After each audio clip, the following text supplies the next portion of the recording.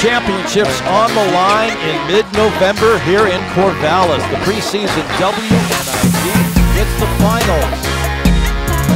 Goes inside, puts it off the glass, and good! Back to Tudor, a long three ball for Kat. It's perfect!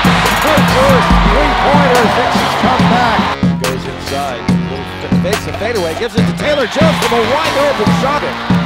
He's on the run to Slocum. Two seconds to go. Three pointer for Destiny's good! Destiny Slocum! Good bit of three ball. She hits it!